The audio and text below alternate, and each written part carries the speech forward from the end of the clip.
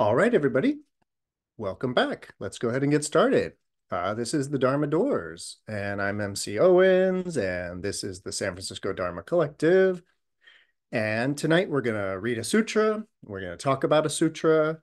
Um, we are still in the middle length discourses, the Majjhima Nikaya.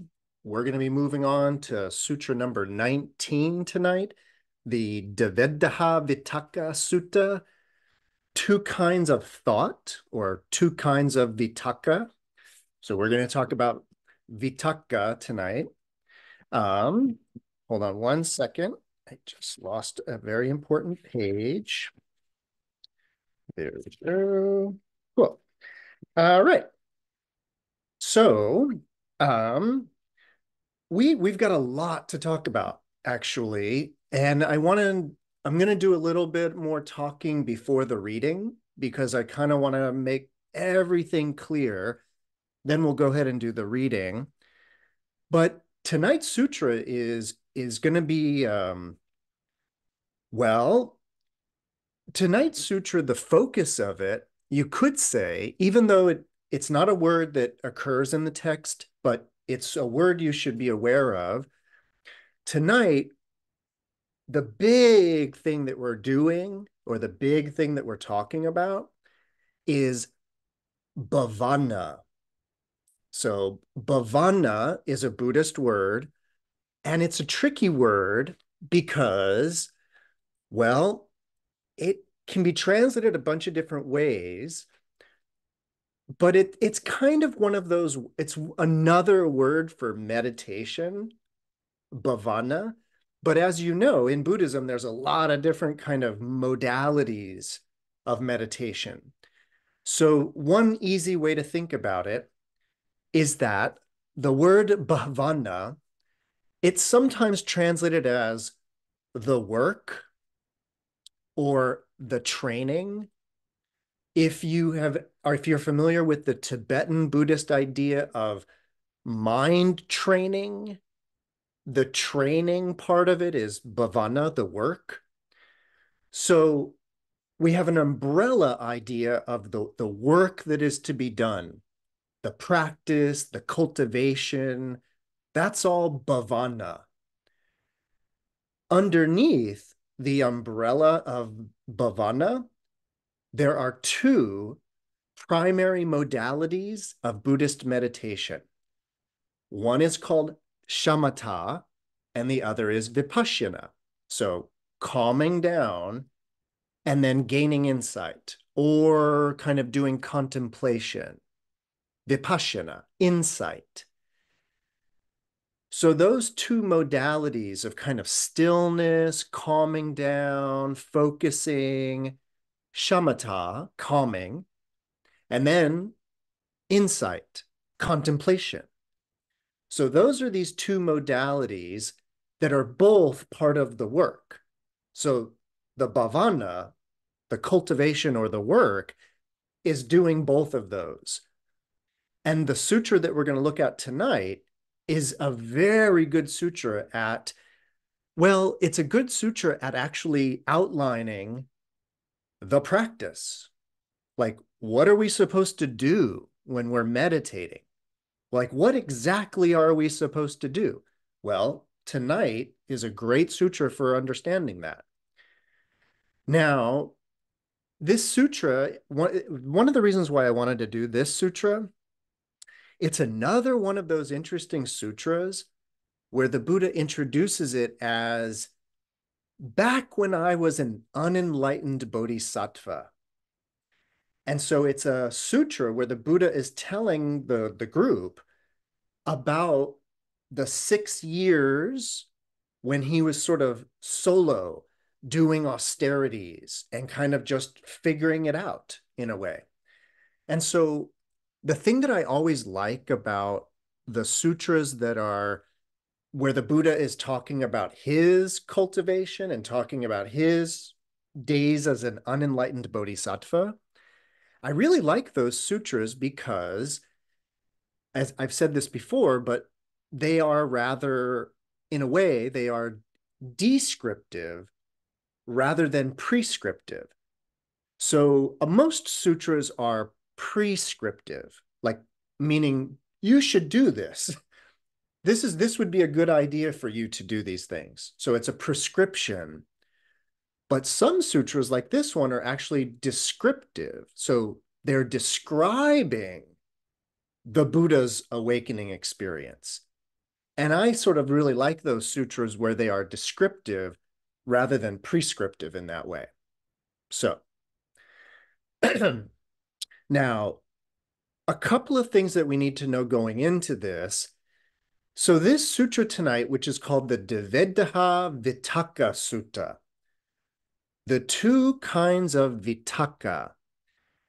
In Sanskrit, the word is vitarka, so it's just a slight different pronunciation between vitaka and vitarka. But in the world of Buddhism, vitaka or vitarka is always coupled with vichara. And in many ways, they're actually a, a hyphenated expression, vitakka vichara. Now, we need to talk about this because the whole sutra is actually about vitakka and vichara. So let's talk about it. We're pulling back and we're just going to now think about how, well, Buddhism, all of Buddhism, the history of Buddhism, it's a very psychologically oriented tradition. Yes, there's a lot of focus on morality, but as I know you know, there's a lot of focus on the mind. And so part of, excuse me, part of basic, like super basic Buddhist psychology, they make a difference between two functions of the mind. The mind can be doing, and so this is a, a verb. The mind can be doing vitakka, or again, vitarka. And your mind and by the way, this has nothing to do with meditation yet. That's it's why I kind of gestured that we're going to pull back and we're just talking about the way the mind works. And in Buddhism, the Buddha detected that the mind works in these two different ways that work together. Vitaka is a kind of searching. And what it is, is it's the mind looking around for something to think about. So vitaka is like, well, looking around in that way. Once you have found something like that, maybe it catches your attention or somebody has suggested, hey, think about this.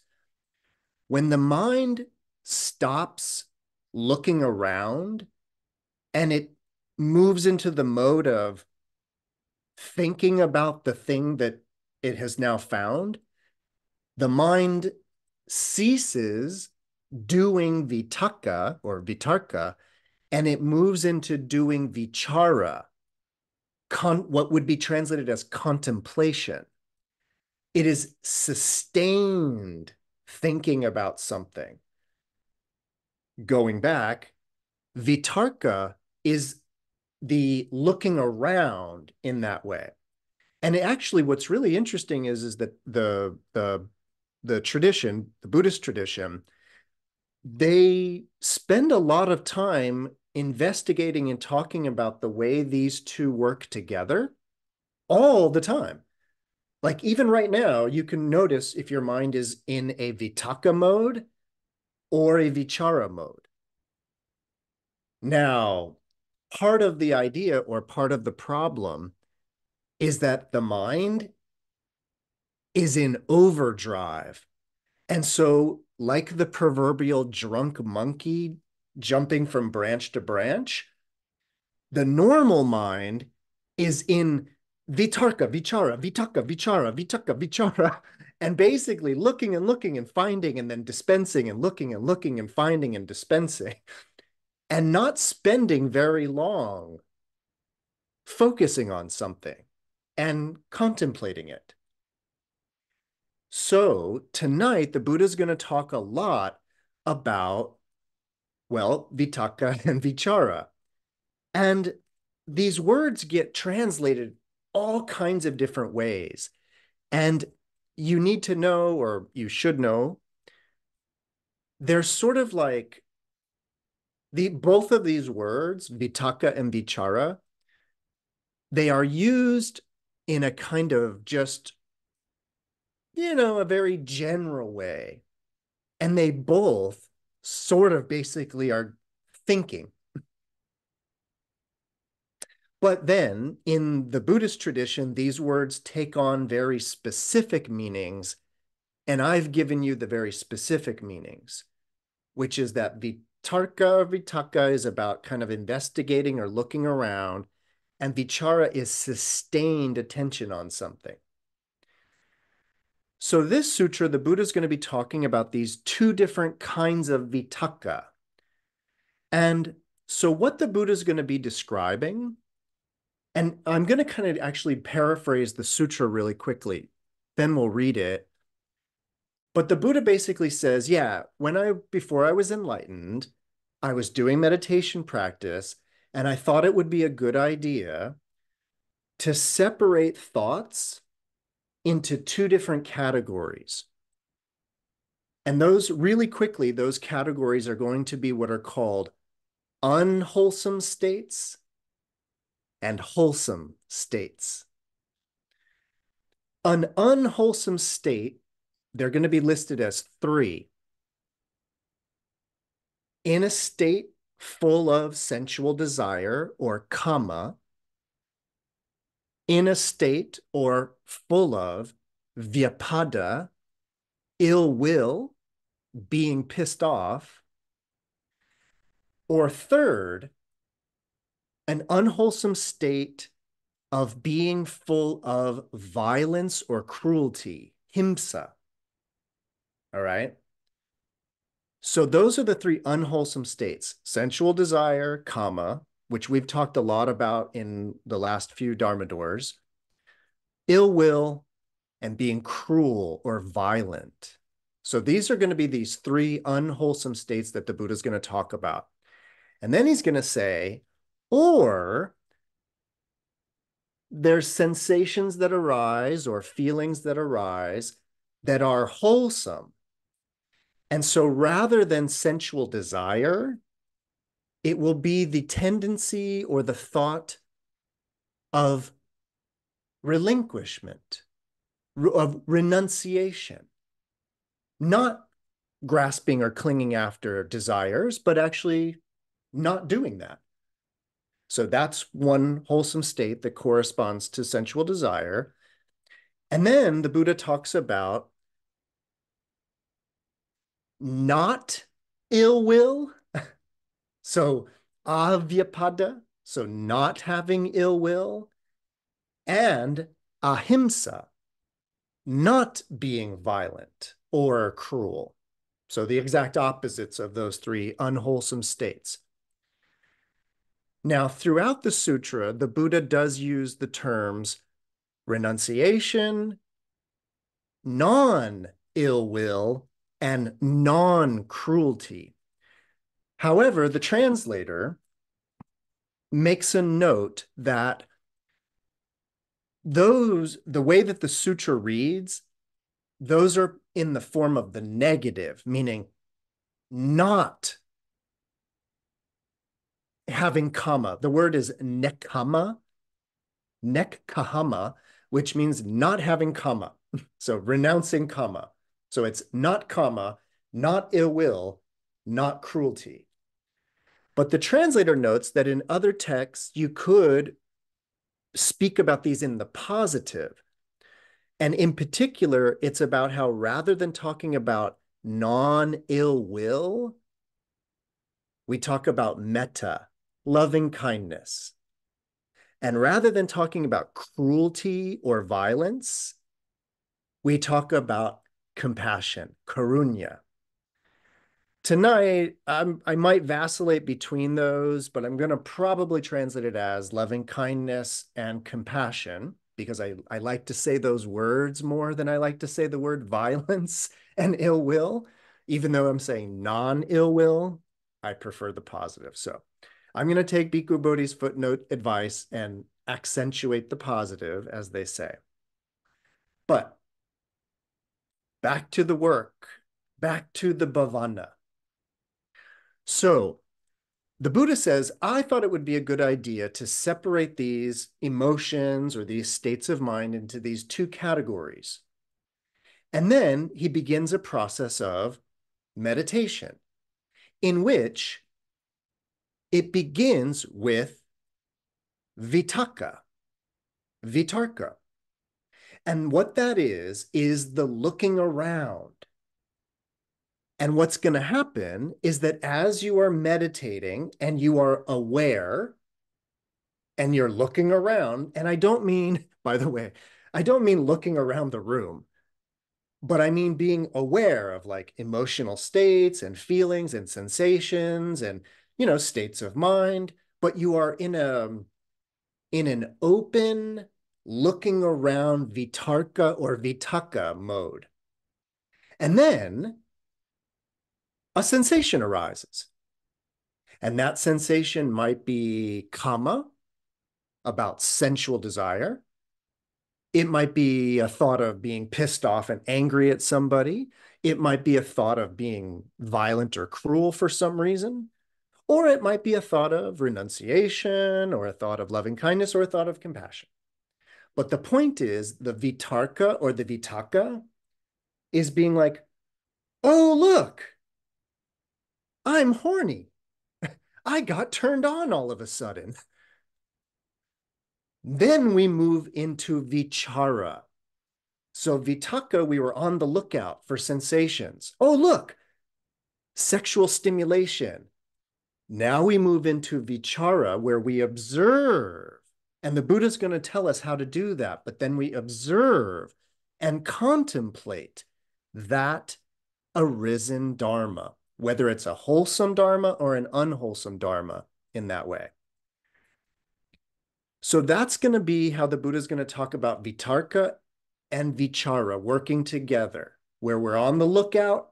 And then once we notice something, we move to vichara, we pay attention to it. And in the sutra, the Buddha is going to give, or he's going to describe, a number of different things that we're going to consider about either these unwholesome states or these wholesome states. And that question, or not question, but that analysis where the Buddha is going to notice the arising of, let's say, again, let's say a feeling of ill will. And he's going to say, and then I investigated, I, I contemplated that, and I thought, this feeling of ill will it doesn't do me any good. It doesn't do other people any good. It doesn't do both of us any good. I should probably abandon it since it's not doing anybody any good. That, what I just described, which we're going to hear again when I do the reading, that's vipassana.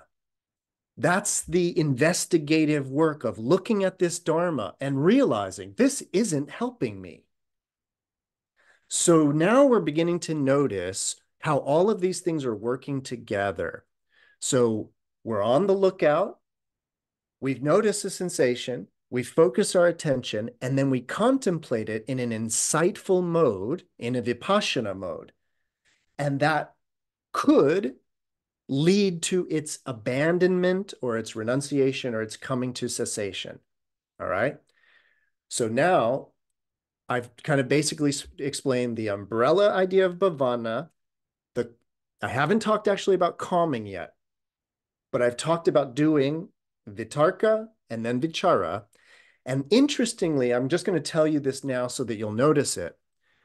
What the Buddha is going to say, though, is that all of that contemplation, all of that investigation, it can become a strain on the mind. And so he says, I turned it off. I mean, you, it's not his language, but he basically says, I stopped doing that investigation. And that, and the way it's described, that's moving into the calming or shamatha mode because the Buddha even says that I noticed myself basically getting a little too excited, mentally speaking. And so he shifts into shamatha, just calming down and calming down until there's the recognition of the arising of a sensation, and then the whole thing begins over again. So that's going to be the bhavana. That's the work that we're going to be looking at. And then what we want to be really paying attention to is the way the Buddha is working with all of these things. So the vitaka, the vichara, the vipassana, and then the shamatha, and then back to the vitaka in that way. And then as it goes along, it will kind of um it'll move into a very classic description of the four jhanas. It's a you know very classic part of early Buddhist sutras that we go through the four jhanas again, especially when we're describing the Buddha's enlightenment experience. What I want us to, or when we get there, the four jhanas, like moving through the four jhanas, it has a lot to do actually with vitarka and vichara, but then in the second jhana, there is the abandonment of vitarka and vichaya. Now, this is what I was trying to say, say something earlier. Normally, even when I teach it, in the second jhana, I just describe it as it is the relinquishment of discursive thinking. Discursive thinking is like mental chatter, an internal dialogue, an internal voice. Again, normally I just gloss that as discursive thought, but it's actually about the relinquishment of vitarka and vichaya, or vichara, sorry. And now having read the, or once we read the whole sutra and we understand the role of vitarka and vichara in getting us to the jhanas, I think it'll make a little even more sense the moment when we let go of that activity and then off into these jhanas. So, all right, I think that's all I have to prepare us. Any questions, comments, or ideas before we dive into the sutta? All sound good? All right. So once again, this is the Dvedha Vitaka Sutta, uh, Majjhima Nikaya, Sutta number 19. Page 207, if you happen to have the Wisdom Publication Edition.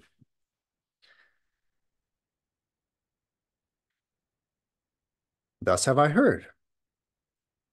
On one occasion, the Blessed One was living at Savatthi in Jeta's Grove, Anathapindika's park. There he addressed the bhikkhus thus. Bhikkhus, Venerable Sir, the, the bhikkhus replied. And the Blessed One said this. Bhikkhus, before my enlightenment, while I was still only an unenlightened bodhisattva, it occurred to me, suppose that I divide my thoughts into two classes. Then I sat on one side, thoughts of sensual desire, thoughts of ill will, and thoughts of cruelty. And I set on the other side, thoughts of renunciation, thoughts of loving kindness, non ill will, and thoughts of compassion, non cruelty. As I abided thus, diligent, ardent, and resolute, a thought of sensual desire arose in me. I understood thus this thought of sensual desire has arisen in me. This leads to my own affliction. It leads to others' affliction and it leads to the affliction of both of us. It obstructs wisdom, causes difficulties, and leads away from nirvana. When I considered, this leads to my own affliction. It subsided in me. When I considered, this leads to others' affliction. It subsided in me.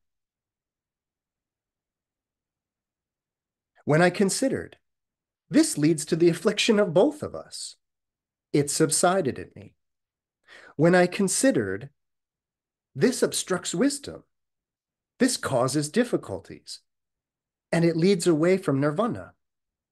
It subsided in me.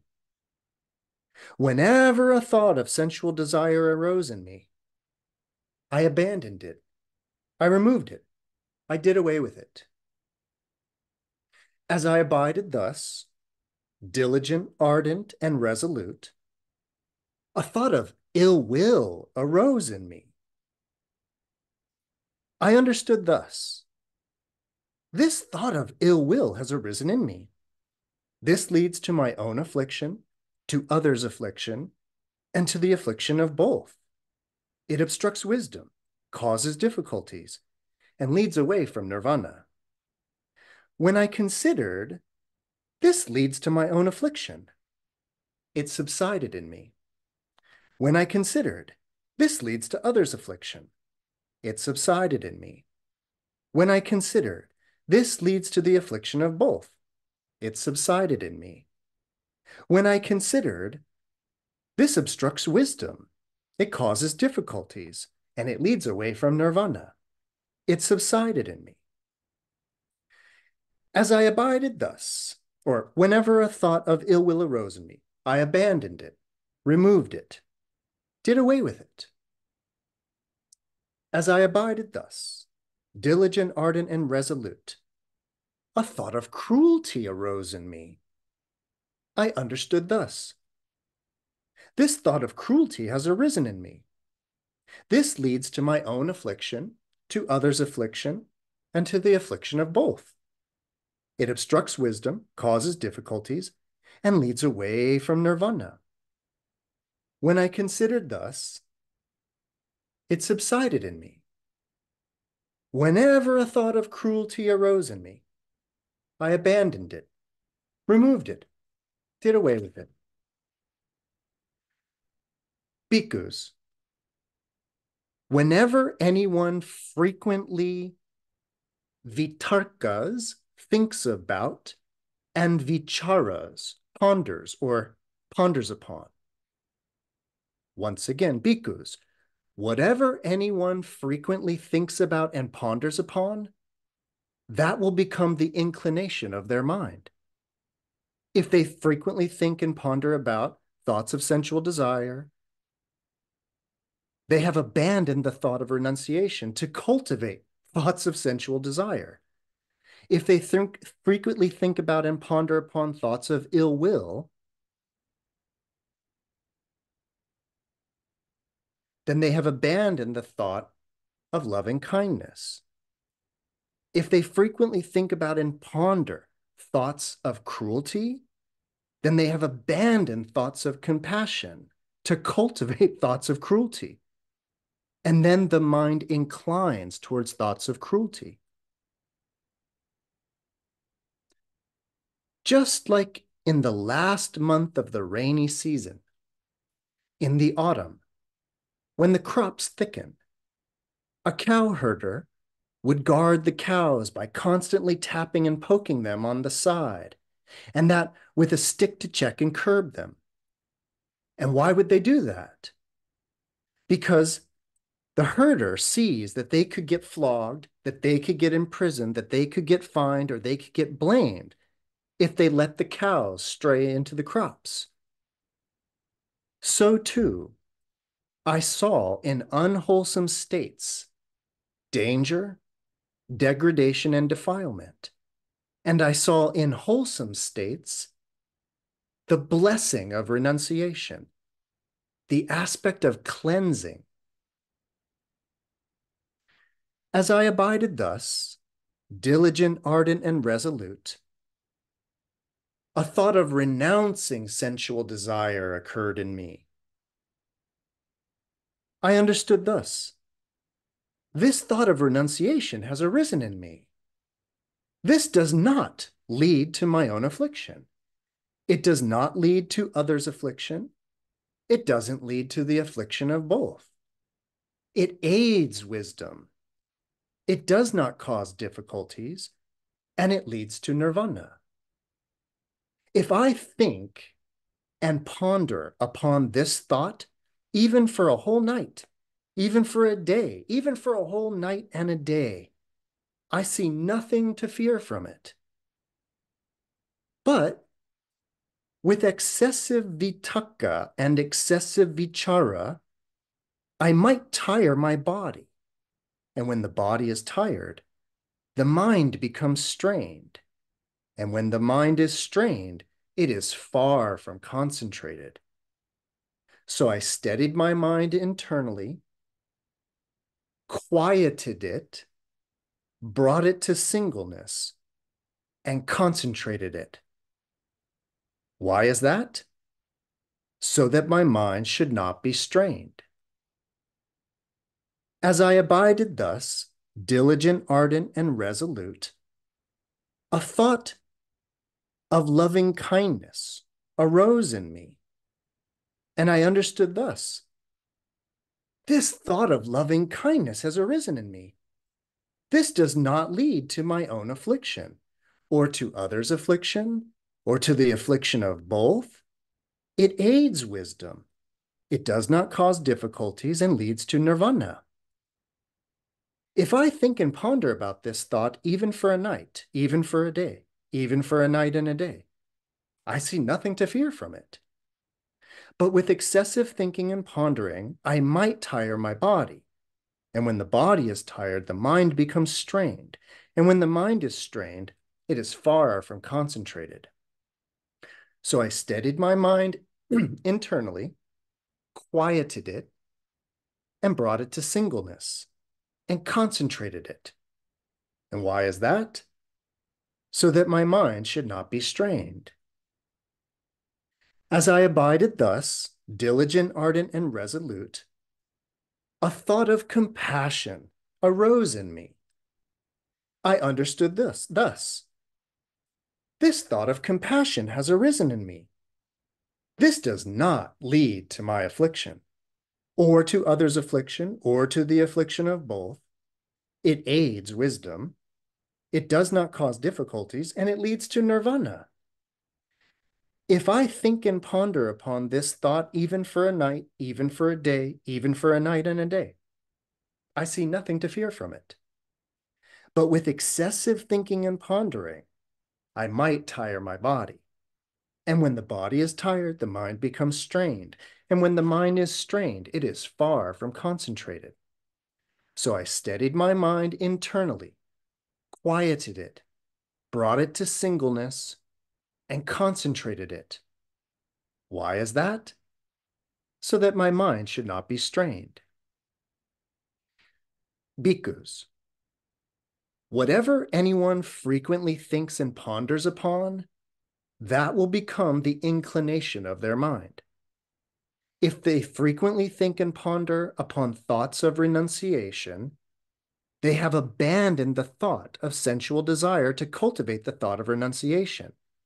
And then the mind inclines towards thoughts of renunciation. If they frequently think and ponder upon thoughts of loving kindness, they have abandoned the thought of ill will to cultivate the thought of loving kindness. And then the mind inclines to thoughts of loving kindness. If they frequently think and ponder upon thoughts of compassion, they have abandoned thoughts of cruelty to cultivate thoughts of compassion. And then the mind inclines towards thoughts of compassion just like in the last month of the hot season, when all the crops have been brought inside to the villages.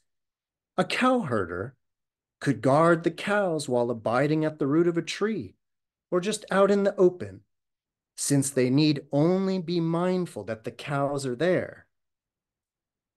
So too, there was need for me only to be mindful that those wholesome states were there. Tireless energy was aroused in me, and unremitting mindfulness was established. My body was tranquil and untroubled, my mind concentrated and unified. Quite secluded from sensual pleasures, secluded from unwholesome states, I entered upon and abided in the first jhana, which is accompanied by applied and sustained vitakka and vichara, with rapture and pleasure born of seclusion. With the stilling of vitarka and vichara, I entered upon and abided in the second jhana, which has self-confidence and singleness of mind, without applied and sustained thought, vitakka and vichara, with rapture and pleasure born of concentration, with the fading away as well of rapture, I abided in equanimity and mindful and fully aware, still feeling pleasure with the body. I entered upon and abided in the third jhana, on account of which the noble ones say, one has a pleasant biding, the one who abides in equanimity and who is mindful. With the abandoning of pleasure and pain, and with the previous disappearance of joy and grief, I entered upon and abided in the fourth jhana, which has neither pain nor pleasure, and purity of mindfulness due to equanimity. When my concentrated mind was thus purified, bright, unblemished, rid of imperfections, malleable, wieldy, steady, and attained to imperturbability, I directed it to knowledge of the recollection of past lives. I recollected my manifold past lives. That is one birth, two births, three births, four births, five births, 10 births, 20 births, 30 births, 40 births, 50 births, a hundred births, a thousand births, a hundred thousand births, many kalpas of world contraction, many kalpas of world expansion, many kalpas of world contraction and expansion. And I knew there I was named so-and-so of such and such clan, with such and such appearance. Such was my nutriment, such was my experience of pleasure and pain, such was my, my life term. And then passing away from there, I reappeared elsewhere. And there too, I was named so-and-so. I was of such and such a clan, with such an appearance. Such was my nutriment, such my experience of pleasure and pain, such my life term and passing away from there, I reappeared there. Thus, with all their aspects and particulars, I recollected my manifold past lives. This was the first true knowledge attained by me during the first watch of the night. Ignorance was banished, and true knowledge arose. Darkness was banished, and light arose, as happens in one who abides, diligent, ardent, and resolute. When my concentrated mind was thus purified, bright, unblemished, rid of imperfections, malleable, wieldy, steady, and attained to imperturbability, I directed it to knowledge of the passing away and reappearance of other beings. With the divine eye, which is purified and surpasses the human eye. I saw beings passing away and reappearing, inferior and superior, fair and ugly, fortunate and unfortunate. I understood how beings pass on according to their karmic actions thus. I knew these worthy beings who were ill conducted in body, speech, and mind, revilers of noble ones, wrong in their views, giving effect to wrong view in their actions, Upon the dissolution of the body after death, they've reappeared in a state of deprivation, in a bad destination, in perdition, even in hell. But these worthy beings, who were well conducted in body, speech, and mind, not revilers of the noble ones, right in their views, giving effect to right view in their actions, on the dissolution of the body after death, they've reappeared in a good destination, even in a heavenly world. Thus, with the divine eye, which is purified and surpasses the human eye, I saw beings passing away and reappearing, inferior and superior, fair and ugly, fortunate and unfortunate. And I understood how beings pass on according to their karmic actions. This was the second true knowledge attained by me in the middle watch of the night. Ignorance was banished, and true knowledge arose. Darkness was banished, and light arose, as happens in one who abides diligent, ardent, and resolute. When my concentrated mind was thus purified, bright, unblemished, rid of imperfections, malleable, wieldy, steady, and attained to imperturbability, I directed it to knowledge of the destruction of the taints. I directly knew as it actually is. This is suffering. I directly knew as it actually is. This is the origin of suffering. I directly knew as it actually is. This is the cessation of suffering. I directly knew as it actually is. This is the path leading to the cessation of suffering. I directly knew as it actually is. These are the taints. I directly knew as it actually is. This is the origin of the taints. I directly knew as it actually is. This is the cessation of the taints. I directly knew as it actually is. This is the path leading to the cessation of the taints. When I knew and saw thus, my mind was liberated from the taint of sensual desire, from the taint of being, and from the taint of ignorance. When it was liberated, there came the knowledge. It's liberated. I directly knew birth is destroyed, the holy life has been lived. What had to be done has been done. There's no more coming into any state of being. This was the third true knowledge attained by me in the last watch of the night. Ignorance was banished and true knowledge arose. Darkness was banished and light arose. As happens in one who abides diligent, ardent, and resolute. Suppose, bhikkhus, that in a wooded range there was a great low-lying marsh, near which a large herd of deer lived. Then someone appeared desiring their ruin, desiring their harm and bondage. And that person closed off the safe and good path that could be traveled joyfully. And they opened up a false path. And they put up a decoy and set up a dummy so that the large herd of deer might later come upon calamity, disaster, and loss. But then someone else came desiring their good, their welfare, and their protection and they reopened the safe and good path that led to their happiness.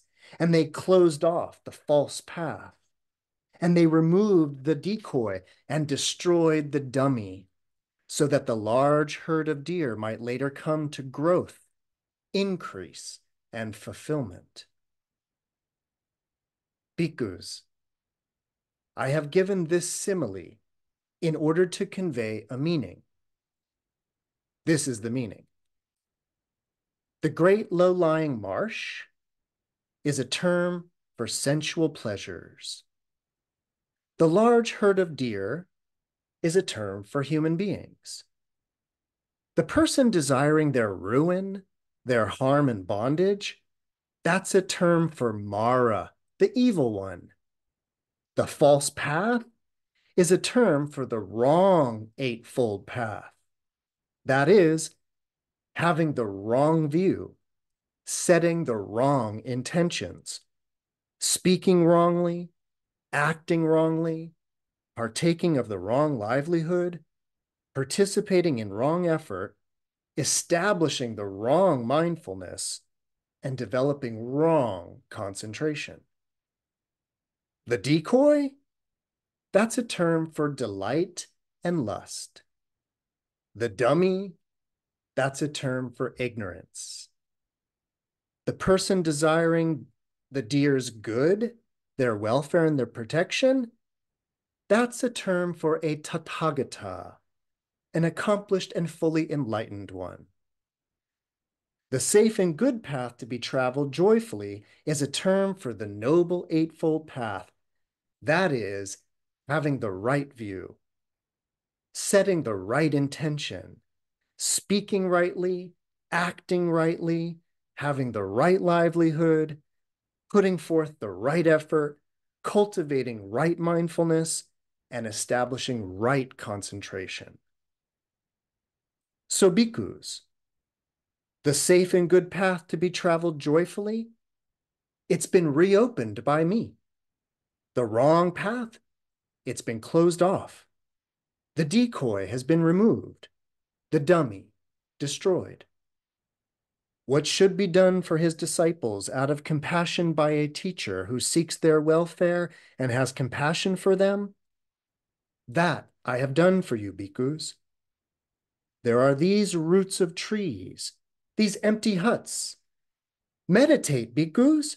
Don't delay, or else you might regret it later. This is my instruction to you. That is what the Blessed One said. The bhikkhus were satisfied and delighted in the Blessed One's words.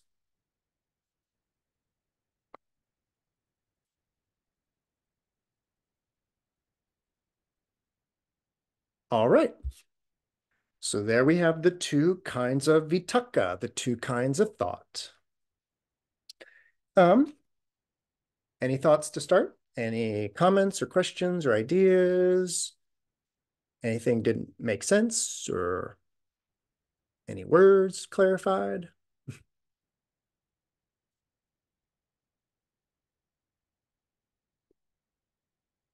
All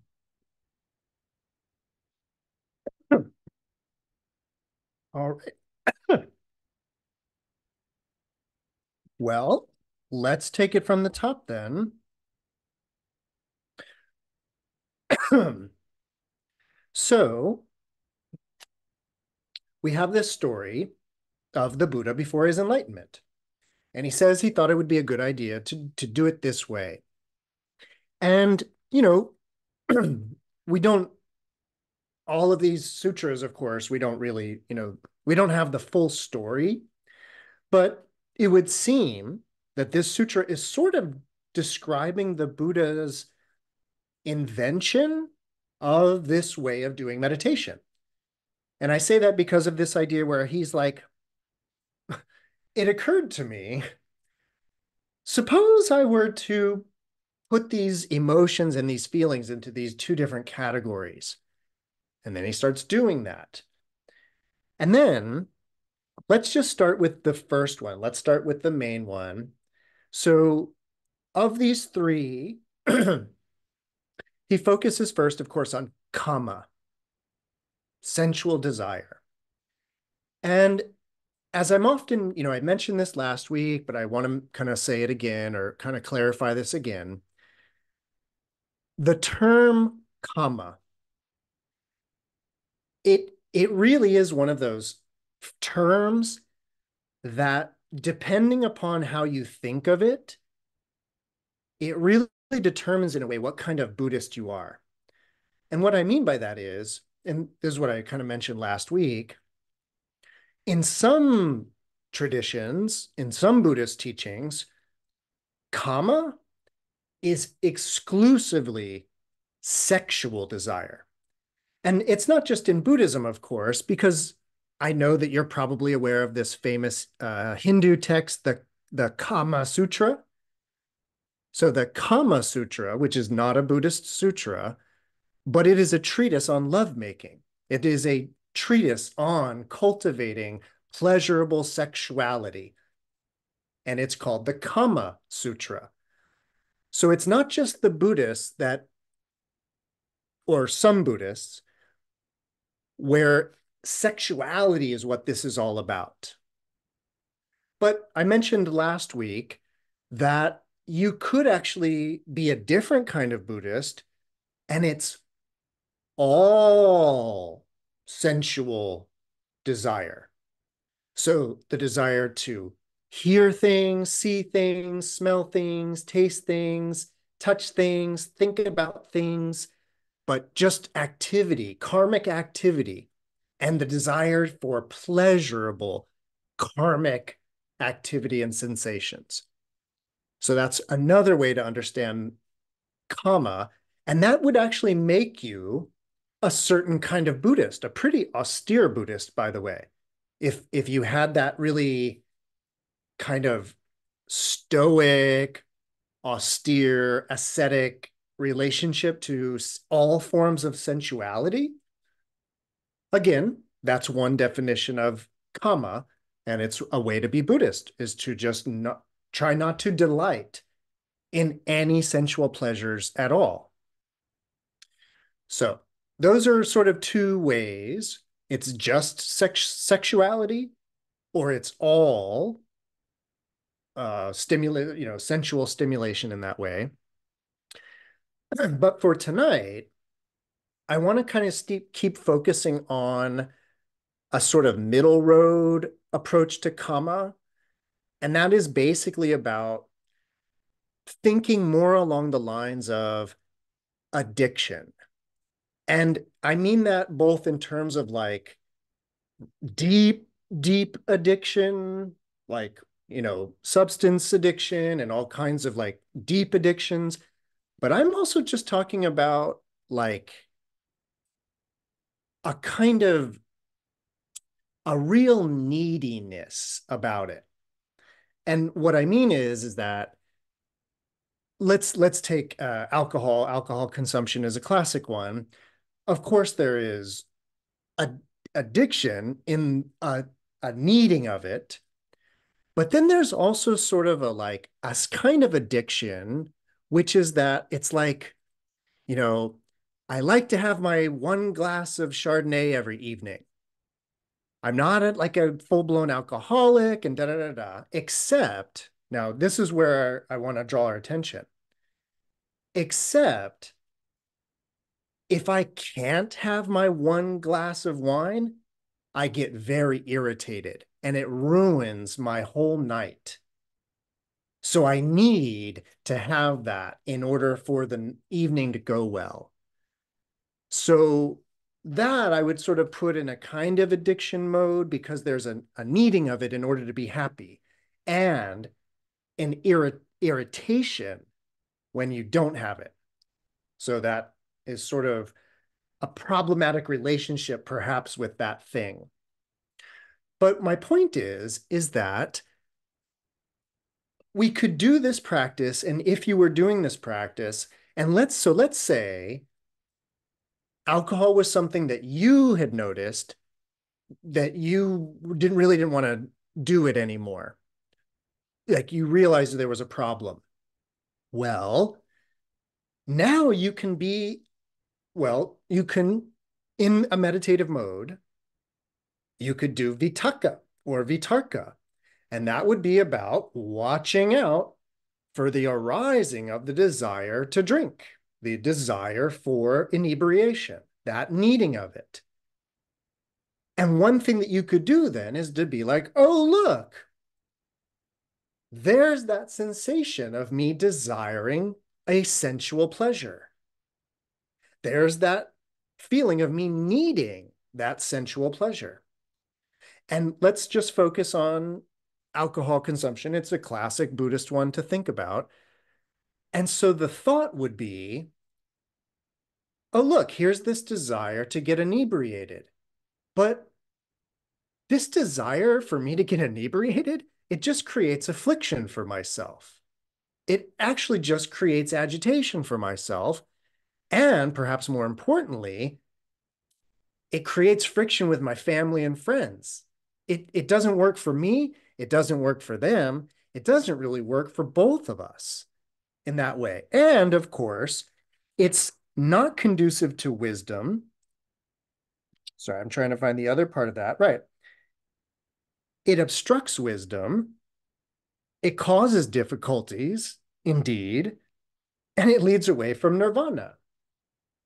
So my point is, is that the practice could be or could look like a seated meditation practice of mindful awareness where you're doing vitarka or vitakka, you're looking around, oh, look, the desire to get inebriated. Does that really help me? My experience has been that it just makes me ill, makes me vomit, makes me feel bad in the morning, causes all kinds of afflictions. My family doesn't like it when I'm drunk. We fight, we argue. So it's bad for us, it's bad for everybody. And through that contemplation about how it's not good for anybody involved, that could lead to its abandonment. And so rather than giving in to that urge and then drinking, we notice it, observe it, apply the insight that it is not beneficial to me or anybody else to do this, and then observe it passing away. It might be followed by another desire to do it, and you would keep doing it in that way. So that's the general kind of description of the bhavana, the work, and the way it works. In particular, before it gets too late, I want to draw our attention to that really, really simple but super important line. And it's where the Buddha says, whatever anyone frequently thinks and ponders upon, that will become the inclination of their mind. If they frequently think about this, that will become the inclination of their mind. And then he does says that again, but not with the negative things, but with the positive things. So this is it. And again, it's like kind of simple, but do we really, you know, behave accordingly in that way? And what I mean by that is, is, you know, if you were really interested in avoiding certain things, then the idea is, is it's about recognizing that if you keep thinking and pondering about that thing all the time, the mind will be inclined towards it. And if you never have thoughts of like compassion, the mind's never going to incline towards compassion in that way. So this is truly what they call mind training, which I guess we could talk about the beautiful metaphor. So, regarding mind training, the Buddha introduces this metaphor of the cow herder. And this, by the way, this, this sutra or this particular aspect of the sutra, the cow herder, this kind of becomes a trope or a part of the Buddhist tradition. And it eventually kind of becomes like, um, well, you could see, you can see it in the 10 ox herding pictures of the Zen tradition, and you can see it in the 10 elephant stages of there's a Tibetan model of the elephant path, they call it. And it's also sort of about training the elephant or training the, the cows in that way. So the Buddha begins, and let me just kind of break down the structure of this sutra real quick. So the Buddha begins with these three unwholesome states the state of being sensually desirous, pissed off, and violent or cruel, right? And in the first part, he's talking about that when those things arose, I realized that they were totally un unbeneficial, totally not conducive to wisdom and nirvana. And so I abandoned them. And then the Buddha uses this analogy and basically says it's just like when the crops are in full, like full bloom. And the cow herder has to actually use a stick and keep prodding the cows to not go towards the crops. So he's got to be active, or the cow herder needs to be active, needs to be like involved. And there's a way in which it's kind of um um well, that kind of I don't want to say aggressive because it's actually not meant to be aggressive, but it is meant to be active actively tapping them on the sides all the time. Don't go near the crops. Don't go near the crops. Don't go near the crops. So that's the Buddha's analogy for working with these three unwholesome states. It's like trying to keep the cows from going into the crops, right? Then he shifts to the opposites of these. So, what they call renunciation which again is this this uh, nekkhamma. So nekkhamma, not like not pursuing sensual desire, renouncing sensual desire, renouncing kama. And then the idea of not being pissed off, not being full of ill will, and not being cruel. So those ideas again can be thought of as being kind and being compassionate. So the Buddha talks about those three states arising, those three wholesome states arising. And there he realizes, oh, now let, let's take loving kindness. Let's shift to the second one. And so rather than being all pissed off, we're full of loving kindness. And the Buddha recognizes, huh, this feeling of loving kindness this does not create any afflictions for me. Me being lovingly kind does not create any afflictions for other people. Me being lovingly kind, it's a win win. It doesn't afflict either of us. And not only that, it's conducive to wisdom.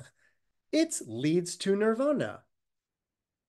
And that's true of compassion and it's true of renunciation. So the Buddha realizes that those three states, wholesome states, are again all good. It's a win win. Being pissed off, it's a lose lose. I lose and my family and friends lose when I'm pissed off. That's the Buddha's great realization is that, wow, we're both losing. Versus when I am lovingly kind, it's a win win. When I'm compassionate, it's a win win. Maybe I should develop and incline my mind towards that which is a win win situation all the time. so that's what his kind of realization is um, regarding the arising of these wholesome states of mind. And then he introduces the other part of the analogy, where he says, and this is just like when the crops have all been gathered together, the crops have all been taken away. And he says, now, in order to be a cow herder, the cow herder can basically hang out at the bottom of a tree, which of course is a funny reference to like the Bodhi tree in that way, right?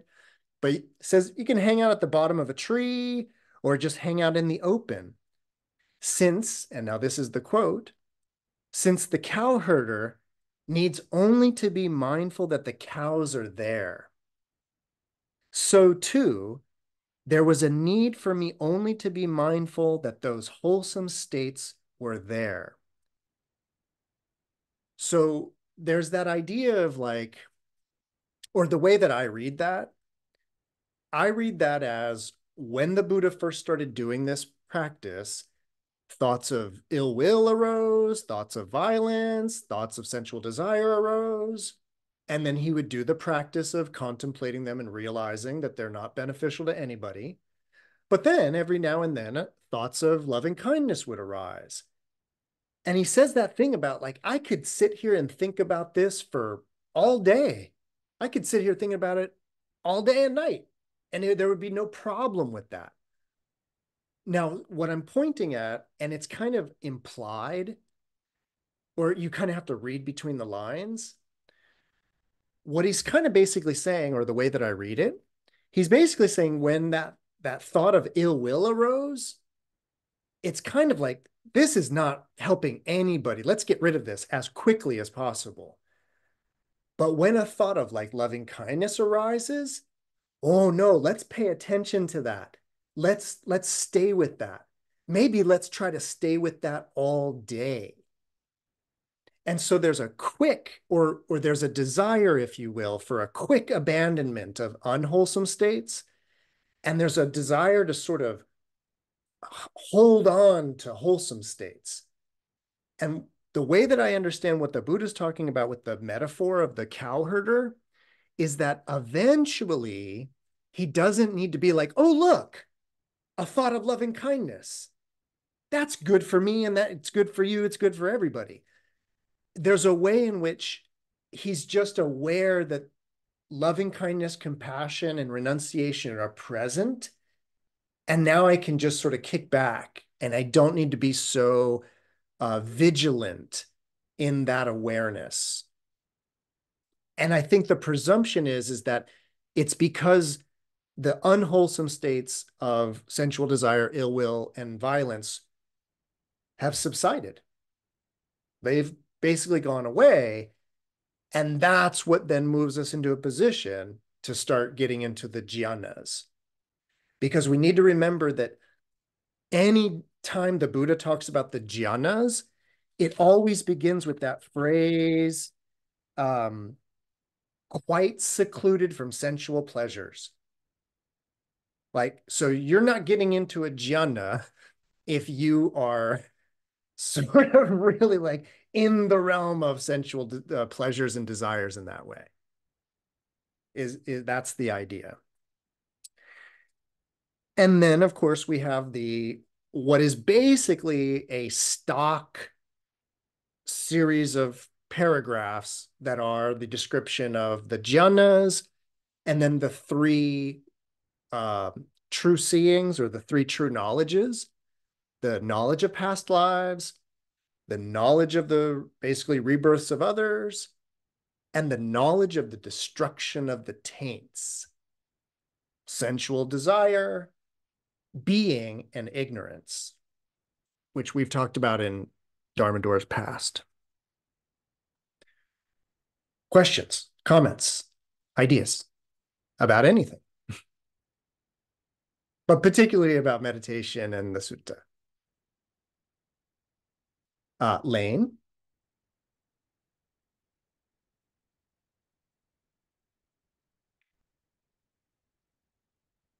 Okay. Can you hear me okay? I can. Okay, thanks. Um, so as a recovering doormat, I have struggled with loving kindness and compassions being a gateway for me to have no boundaries whatsoever. Fix me. That's my question. how do we balance that? How do we balance our need to, um, you know, have compassion for a person who maybe has ill will for us, yep. and wants to act on that ill will? My, I don't know if I'll be able to fix you, but my one way to think about it, I would suggest to to think about it this way.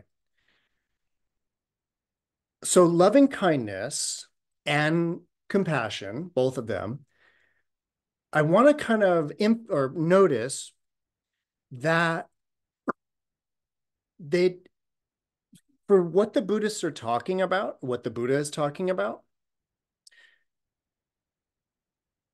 to have loving kindness for someone,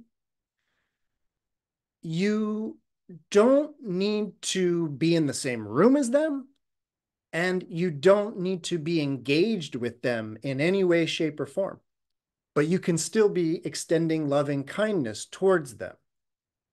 And so my point is is that we sort of have, in generally speaking, very generally speaking, we have kind of basically three possible ways of relating to the other.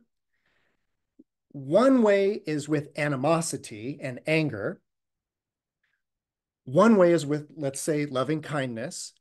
And then totally neutral, totally not angry at them, but not extending loving kindness, just total absolute neutrality. The thing that we would want as a as Buddhists or practicing the path in that way, what we would want to think about and consider is let's start with getting angry. Like, and I want to remind you, Lane, that what I'm talking about is not we're not in the same room as this person we're it's about the way we feel about them and it's about noticing like as the buddha says noticing that anger sort of hurts and recognizing then that in me sitting here and remember again i'm all alone in my room they're not here and so it's a, i'm making a choice to sit here in anger and it hurts. It hurts my stomach. It hurts my chest, but I'm sitting here in anger. I could be neutral, or I could cultivate loving kindness. I think the Buddha is saying, of course, that to develop anger towards the person is not helpful for anybody. So then we're just left with these two options. And while a lot of Buddhism is about neutrality, and I wouldn't exactly want to uh, dissuade you or dissuade anybody from developing neutral feelings. I actually think it's it's a it's an emotional space that we don't explore enough, which is just sort of neutrality usually society is very po polar in that way we know this and so you can't just, you have to like hate things or love things. And there's not a lot of middle ground. And so to actually just be neutral would be a practice and it would be a form of cultivating something. It would be cultivating neutrality. But now let's give a little bit of thought to going that next step of extending loving kindness. And at this point that we really want to think about this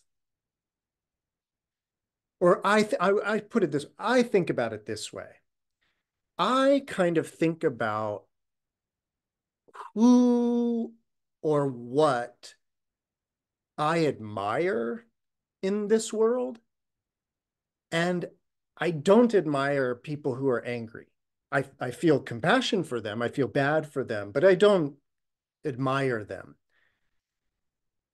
Totally neutral people, I don't actually admire them either. And that's just me. I'm just speaking honestly that that doesn't impress me.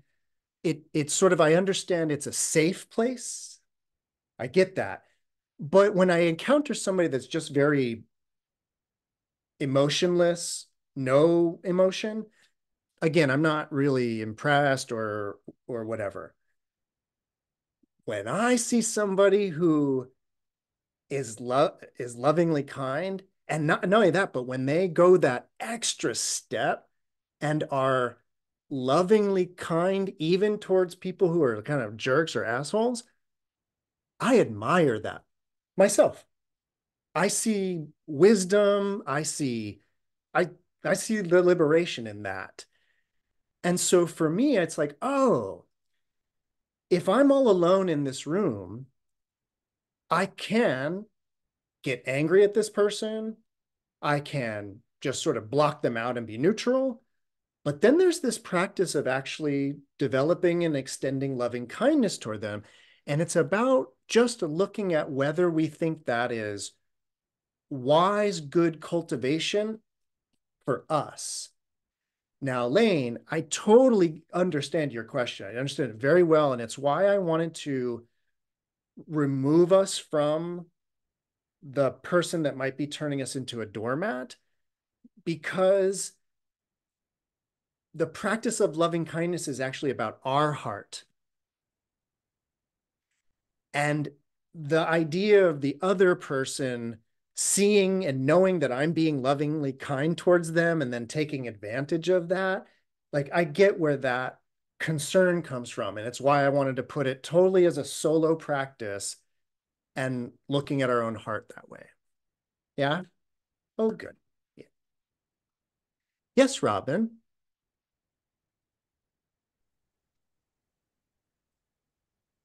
Um, I'm thinking um, about a um, some words in a prayer that say um, resting the mind as it is without rejecting or accepting, you know, and, and allowing self-abiding awareness to arise. Um, so would that be um, the rejecting and accepting? Would this be maybe a, a sort of a, a more advanced um, um, are, are we sort of sort of passing over this stage of analyzing and just saying, okay, I'm going to be in in this natural state of the mind as it is without accepting and rejecting. Is that bypass trying to bypass this step, Do you think? Um, not exactly. You don't happen to have a source for that prayer, do you? Uh, yes, it's the um, it's the Sahamantabhadra. I don't pronounce that right. The uh, aspiration prayer of the primordial Buddha of the Nyingma tradition. So I, I kind of guessed or figured that that mm. was where you were coming from, and I think that'll actually be a really important point to talk about. So, Robin, what you are, the prayer you're referring to and the tradition you're referring to is indeed very advanced Buddhism you know, Buddhism is usually divided into like early, middle, and late. What you're describing is very late period Buddhism in that way. But I, but your question affords me the opportunity to talk about something that I wanted to mention.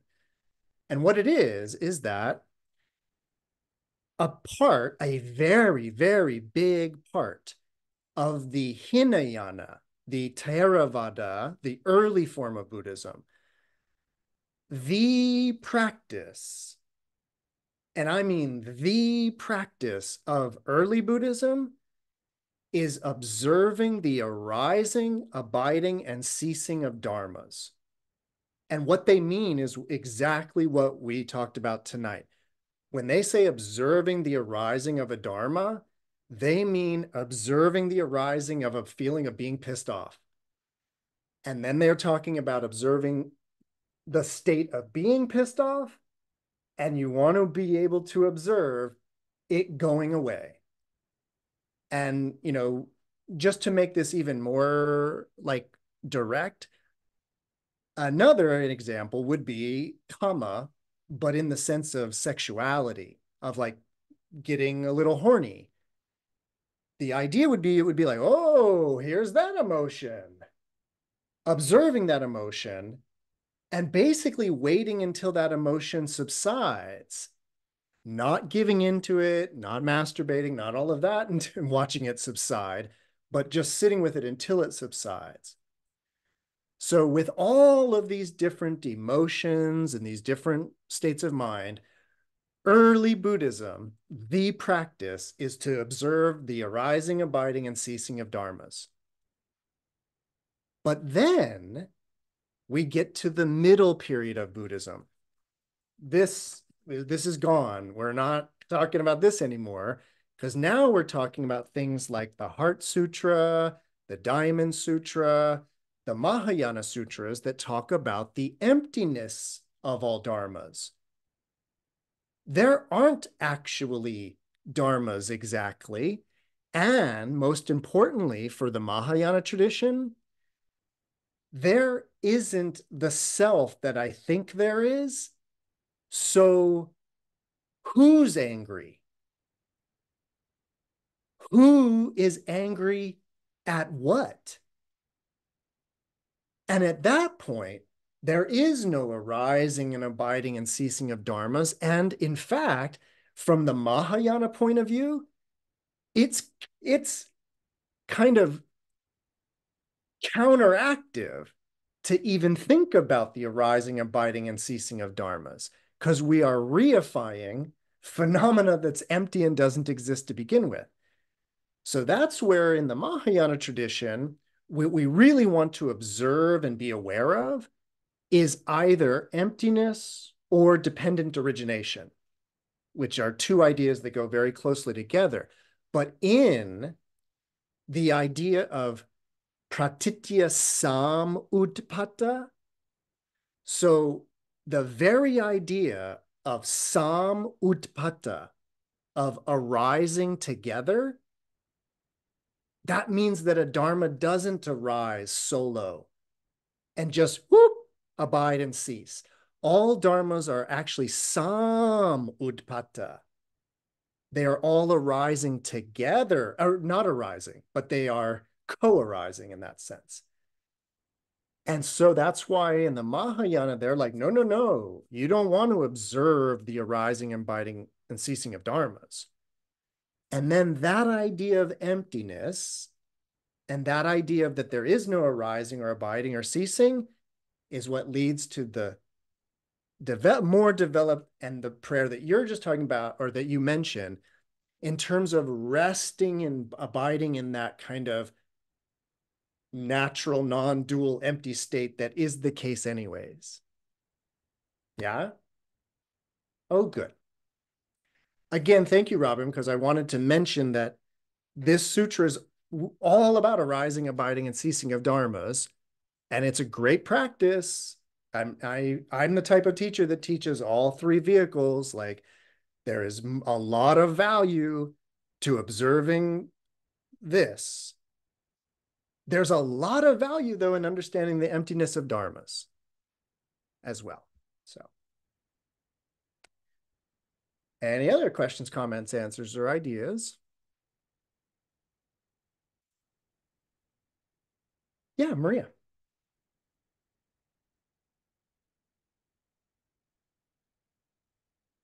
Um, I just wanted to um, mention that I am fascinated by this idea of the um, the practice sort of going on its own or this perpetual motion in the practice um, and how we can sort of lean in one way or the other and sort of help it get to that point. And i think it applies to other aspects too like i've seen some of this start to happen in my own practice and like um for instance with like selfishness and generosity um doubt and faith um the more you sort of rest with the wholesome or the more onward leading the more the other unwholesome or less so sort of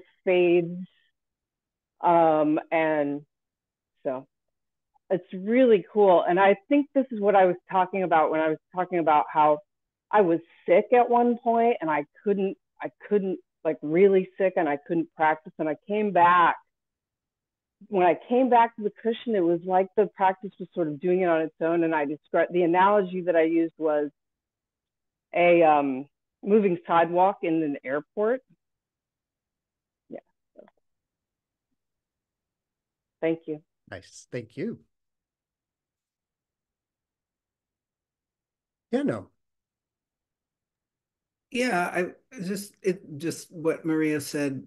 I've been thinking about something uh, related in the sutra. I'm not sure if this is exactly what you were talking about, Maria, but it reminds me of that, which is the the little bit about the herdsman just being able to just chill out at some point. I think that's what you're talking about.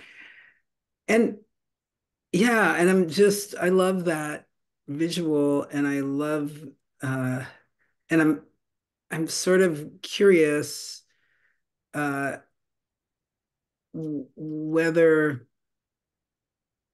I guess I'm yeah I'm curious and I'm asking myself, but I'll ask you too. Is it just sort of as Maria was describing the you know the the seeding of the of the you know wholesome states that slowly kind of crowds out the unwholesome ones or like a for, for sort of by habit or is there some kind of it's almost like some kind of alchemical process where you're you're hmm. just getting the positive feedback from the the wholesome states along with you know some wisdom of knowing that you know things change all the time which seems like a, an important part of it you know so that when things aren't so smooth and easy you know to just not clench you know mm-hmm. so i'm just thinking about that and curious about your thoughts um you know the one the one thought that comes to mind that I haven't mentioned for a long time, it it's about how the word, so the the real key word, and it's a word that we're sort of talking about.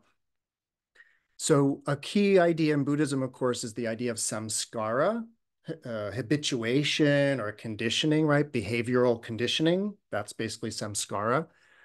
And what's interesting that I've shared with people is when when the Buddhist tradition was being translated into uh, Chinese for the Chinese culture, the word for samskara that they chose to use, a particular character pronounced uh.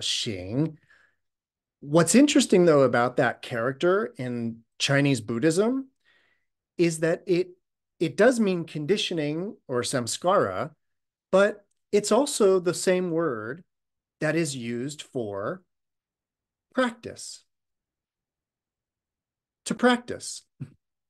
And what I when I realized that, like a long time ago when I was first studying Chinese Buddhism, and I was like, oh, look, they use the same word for that. It actually made me go back and sort of reread all of Buddhism. And it made me realize that it's like conditioning isn't good or bad. It's what's happening.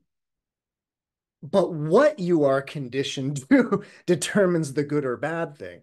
But the being conditioned is not necessarily the bad thing. And so that kind of is very much represented in this text, in our sutra tonight. What the Buddha says that whatever somebody frequently thinks about, that's what the mind inclines towards. And it's just a simple matter of repetition in that way. On that note, really quickly, I did want to mention the arising of a of what the Buddha called renunciation. So the opposite of sensual desire, this arising of, of renunciation. I wanted to say this earlier, I just noticed my note an interesting way to think about that it's about like if you've ever struggled with anything again whether may, maybe alcohol or what have you you know you might have reached that point where you're like i don't want to do this anymore. I'm done. That's the arising of a sense of renunciation.